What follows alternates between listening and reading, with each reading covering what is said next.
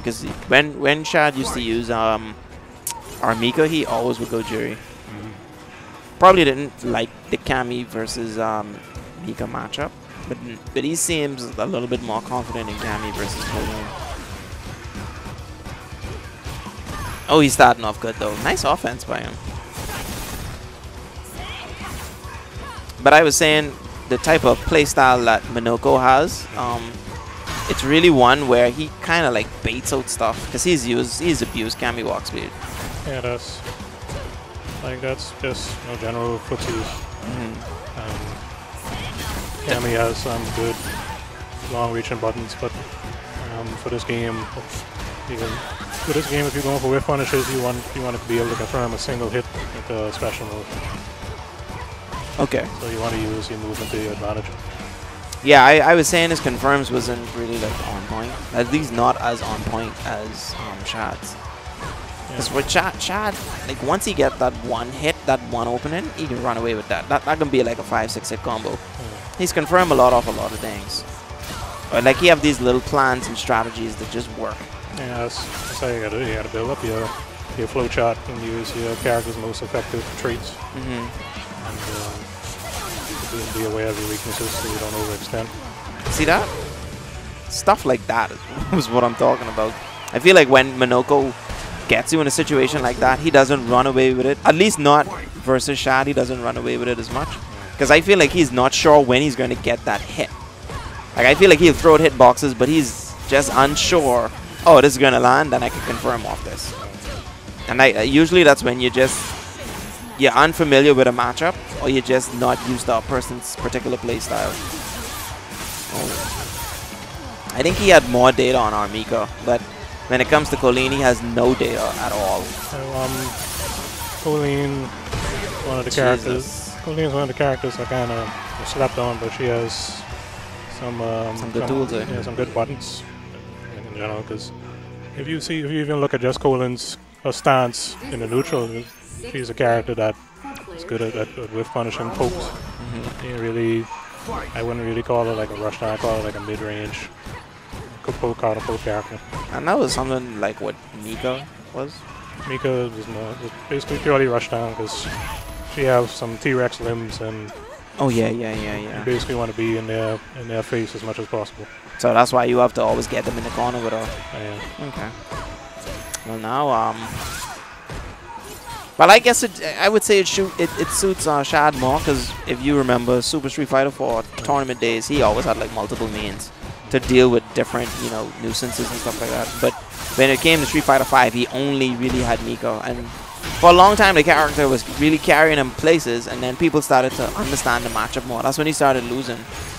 Um, but now that he has Kolin, it's, it's almost like it started again because he's just destroying Monoko. yeah, I'd say it has do, a lot to do a lot to do with like familiarity. Yeah. It's cool and being a character you see and play very often. Uh, she's starting to sort of pick up in popularity because of one or two One or two means. eh? Yeah, one or two players starting to make waves with her, but uh, I'd say I'm definitely need to brush up on the matchup. Agreed. I always like wanted a team to like go off of Street Fighter. I feel like Shad, Shad and JoJo could probably be that team. But JoJo, uh, much less from for me with him, because like he is a good player, but I don't know if he could take like pressure. You know Yeah, what I mean? like I think really what it is as a group we never really like we never really took the time to like really like discuss strategy or to help each other improve or play like that because you know everyone out there had a bunch of different stuff. That they doing. Uh, right. and we never really had the time to just sit down and commit. Yeah, I that too. even even when we have like you know, the casual get-togethers never really to like like I say like to, to develop strategies and stuff like that. More just to play have a little smart talk and, whatnot Yeah. Bro. I, I I have to I have to say that's the truth. That's from what I've observed. Um, just you know, getting put in pressure situations. I only can tell you what I see, bro. I can't tell you. I ain't saying you suck. I just saying you know like you And I'm not meaning pressure in the game. I mean like outside the game. You gotta have like nerves of steel. Because when you go to these tournaments, but I can tell you right now, like it ain't easy, dog. And that's from personal experience, dog. There's a lot of pressure. Yeah, you can't break easy. Well, not break, but you just gotta like, gotta hold that shit together. Oh, not a good trade. It's only invincible on the way up. Now she coming down. She's falling over. Kolin wins. Wasn't able to even land that. I think Monoko is losing patience. He's walking to a couple buttons now. Yeah, he ain't playing as as, as, as good as he should. And like, um, he just needs to like, take note of how Shad is playing. He's just so on the other end there, Shad was sort of backing off, feeling it out. And Monoko, like I say, he just walked, walking those buttons overextended. Uh,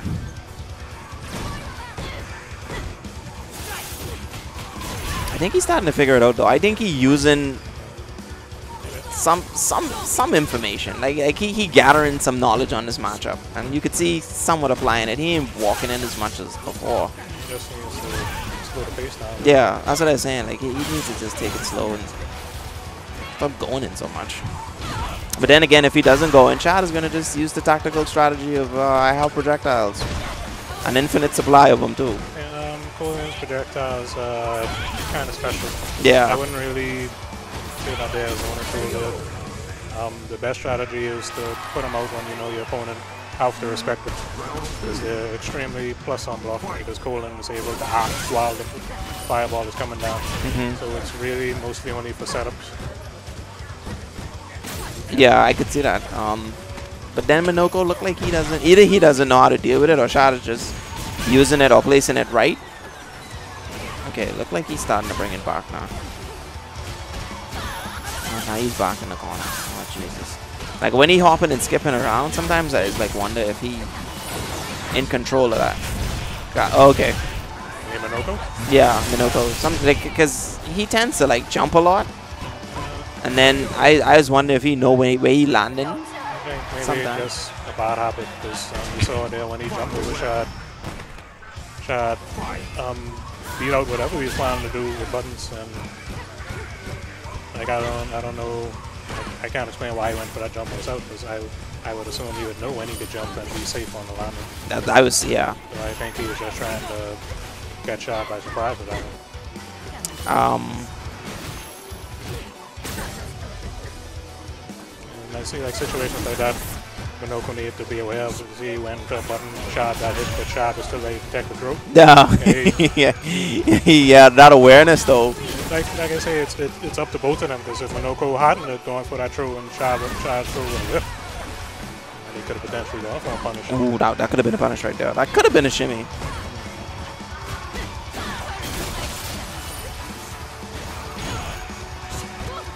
Okay. That was a nice block, but. It a. Oh, God. Like, see, he, like, he walking back and forth, like, trying to bait Shad to do something. Okay, finally. And he actually confirmed. Thank goodness. I, I was wondering, like, like he got he got one on the board, but at least he on the board now. He, slowed it down a bit there, tried to look out for stuff. hmm Um, I think he needs, he needs to learn how to pick up on stuff like that a little bit faster now. Yeah, because I wasn't looking too pretty for him. You could see from the set start shot, they start off by you know, just feeling him out, and then Monoko overextend, put himself in a bad situation. Shad was adapting to a lot of like his his pressure. Like there's certain things that players do when they getting pressured. I think Monoko loves to jump, and one shot condition him to jump. It's like, come here, you know, you, you take a good percent. Like this, this is a game where like awareness is important, Yeah, especially coming off uh, Street Fighter 4, where there's much, much more faster pace, and awareness sort of fell to the wayside, and uh, the favor of stuff like option selects, and stuff like that. But you know, it's a different game. people don't like it for that reason, I guess. But I feel like it, it is it is a little bit more straightforward. Like, um, Like it's still a competitive game. Yeah. And then, uh, like I, I could sit down and watch Street Fighter. Like I, it's especially fi five on four. I, I got into it um, watching you guys play it a lot, and it's actually it's really good to me. To be honest, I could sit down and watch a whole a whole um top eight grand finals They're Street Fighter. both games are quite good in that one, right. hmm Like at the, at the end of the day, it's about know, about the competition, about being competitive. Yeah, it's about being competitive. Yeah. If you feel the game for you, know, you got other options out there. Fortunately, know. Yeah, that's true. Like esports is it's, it's wide, and you know, there's a lot of different games that people can get into.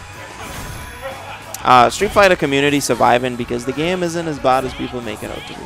I mean, and people wouldn't be here today if you know the game was that bad. So You know, you can't always just like completely throw it under the bus. Yeah, like not every game ain't gonna be for everyone. Yeah, y'all lasting longer than other communities. I can tell you that. Oh, nothing. But like when Shad was sitting down with me, he was pointing out a lot of things that King Blade should have been doing versus Monoko, and you could see it in Shad's playstyle. He knows when to block and like when when there's an opening. By so I, I just think like he just understands Monoko's playstyle to a degree. All right, it look like they Monoko trying to stay on the board, trying to probably put a another number on the board. You know, uh, I guess like, like stuff, like small stuff like that. You really need to practice and, get down pat. Is that corner situation right there? You could have finished the match with that. hmm And um, they both ended up with, with throws and better faces. Oh god, and it's back here again where Shad just understand neutral, got him, and he just always win in neutral way. Because there was that situation right there where Monoko just do that panic jump in. Yeah, but, um, but before, even before that, Kaminoko had him in the corner, caught him with the shimmy, walked up through him, but then immediately went for another throw, whiffed, and Shad whiffed his throw, and then Monoko tried to press the button, and Shad caught him out and, and fought his way out the corner. Damn. All right. Like small stuff like that can make a big difference in a match. Like. Well, that's it for now. They're gonna go play Thingham. All right, guys. Uh,